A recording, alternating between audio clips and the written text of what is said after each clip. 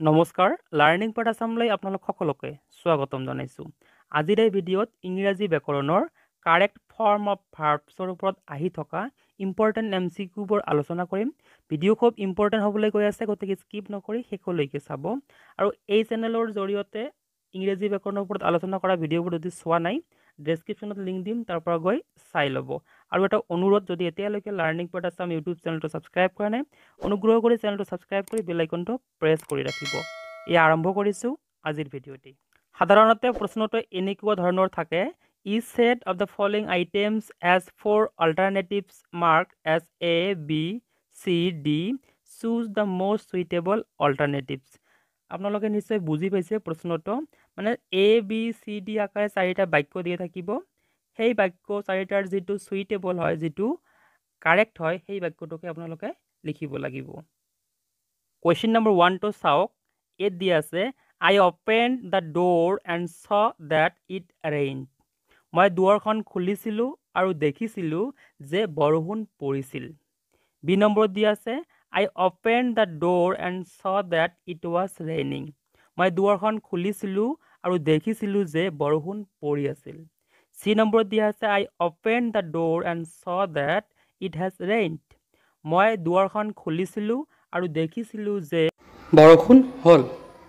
আৰু ডি নম্বৰত দিয়া আছে I open the door and saw that it will rain মই দুৱাৰখন খুলিছিলোঁ আৰু দেখিছিলোঁ যে বৰষুণ হ'ব।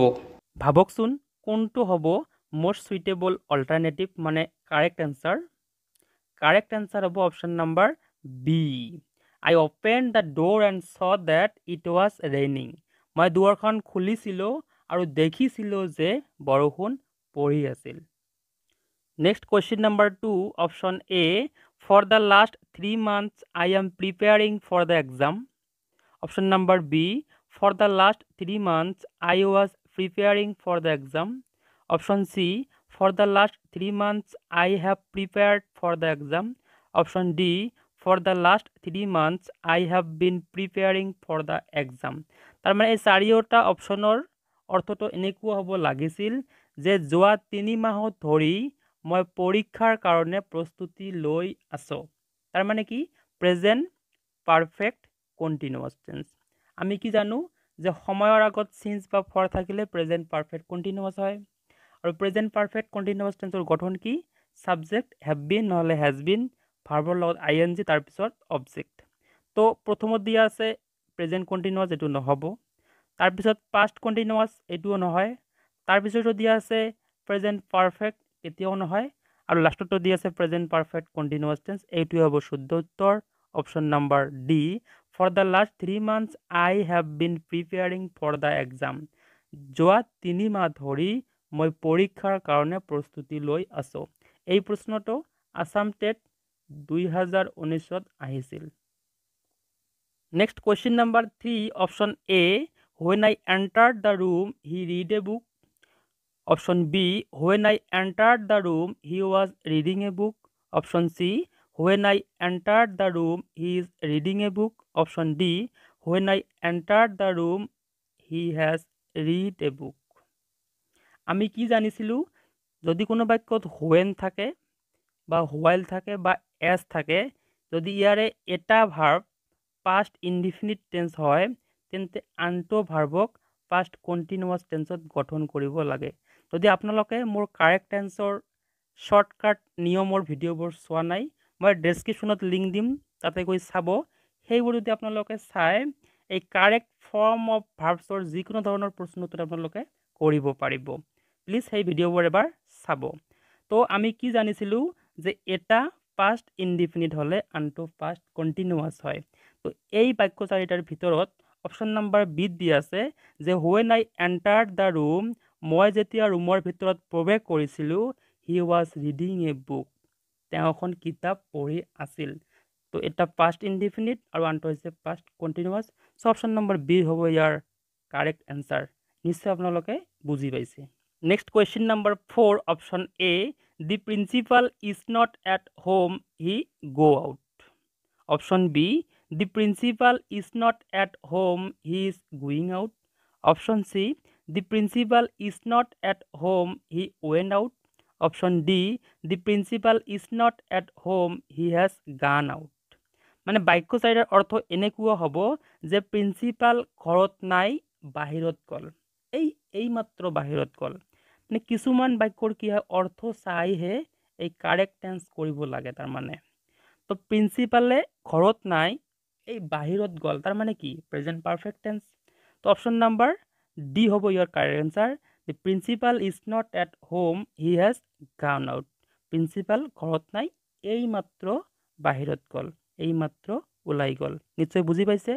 Next question number five option A please ring me up as soon as he came option B please ring me up as soon as he comes option C please ring me up as soon as he will come option D please ring me up as soon as he will have come মানে বাক্যটোৰ অৰ্থ এনেকুৱা হ'ব, অনুগ্ৰহ কৰি মোক ring কৰিবা মানে মোক ফোন কৰিবা এজ চুন এজ হি কাম তেওঁ অহাৰ লগে লগে। মনত ৰাখিব, যদি এজ চুন এজ কোনো বাক্যৰ মাজত থাকে, তেনেহ'লে যদি আগৰ বাক্যটো প্ৰেজেণ্ট টেন্স হয়, পিছৰ বাক্যটো প্ৰেজেণ্ট টেন্স হ'ব। মানে বোধ বাক্য ছেইম হ'ব তাৰমানে। তো ইয়াত বোধ বাক্য মানে দুটা বাক্য ছেইম হোৱা অপশ্যনটো হৈছে option number B please ring me up as soon as he comes অনুগ্ৰহ কৰি মোক ৰিং কৰিবা, মোক কল কৰিবা, তেওঁ অহাৰ লগে লগে। নিশ্চয় আপোনালোকে বুজি পাইছে। Next question number six he thank me for what I dash have done হ'ব নে হেড ডান হ'ব নে ৱাজ ডুইং হ'ব নে শ্বেল বি ডুইং হ'ব অৰ্থটো কি আছিল? বাক্যটোৰ হি থেংক মি তেওঁ মোক ধন্যবাদ দিছিল ফৰ হোৱাট আই মই কিবা এটা কৰিছিলোঁ কাৰণে মোক ধন্যবাদ দিছিল। তো যিহেতু এইটো পাষ্ট ইনডিফিনিট হয় থেংক গতিকে প্ৰেজেণ্ট আৰু ফিউচাৰ কেতিয়াও নহ'ব। অপশ্যন এ আৰু অপশ্যন ডি নহয়। বাকী আছে অপশ্যন বি আৰু অপশ্যন চি যিহেতু মই কিবা কাম কৰিছিলোঁ কাৰণে মোক ধন্যবাদ দিছিল কৰি আছিলোঁ নহয় কৰিছিলোঁ গতিকে ৱাজ কণ্টিনিউৱাছ ফৰ্ম নহ'ব অপশ্যন নম্বৰ বি হ'ব correct answer had done he thank me for what I had done ঠিক আছে?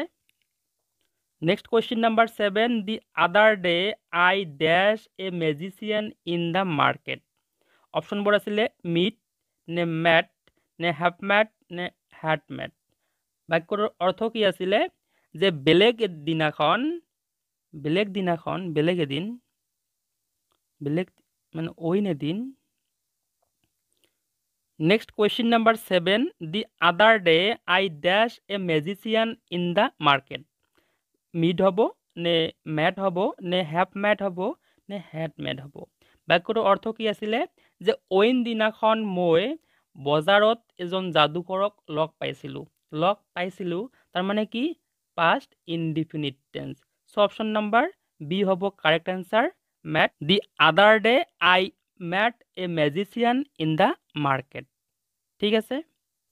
Next question number eight I have just hired a typewriter and I dash type nowadays অপশ্যনকেইটা আছিল? Have learn am learning will learn learn বাক্যটোৰ অৰ্থ হৈছে যে মই এগৰাকী type ৰাইটাৰক higher কৰি লৈ আনিলোঁ আৰু এতিয়া টাইপিং শিকি আছোঁ তাৰমানে। তো এইটো প্ৰেজেণ্ট পাৰফেক্ট টেন্স হয় আৰু এইটো হ'ব present continuous tense. So' option number B হ'ব correct answer. I have just hired a typewriter and I am learning type nowadays ঠিক আছে? Next question number ten. Ten years dash since I met you. অপশ্যনবোৰ আছিলে pass are passing have passed were passed আপোনালোকে নিশ্চয় জানে যদি দুটা বাক্যৰ মাজত চিন্স শব্দটো থাকে তাৰে এটা বাক্য যদি ফাৰ্ষ্ট ইনডিফিনিট টেন্স হয় তেনেহ'লে আনটো বাক্য প্ৰেজেণ্ট পাৰফেক্ট টেন্স হয়। যিহেতু এইটো ফাৰ্ষ্ট ইনডিফিনিটত দিয়া আছে গতিকে আগৰটো প্ৰেজেণ্ট পাৰফেক্ট হ'ব। আৰু প্ৰেজেণ্ট পাৰফেক্টৰ অপশ্যনটো হৈছে option number C have passed ten years have passed since I met you নিশ্চয় আপোনালোকে বুজি পাইছে। আজিৰ এই ভিডিঅ' ইয়াতে সমাপ্ত কৰিলোঁ। ধন্যবাদ।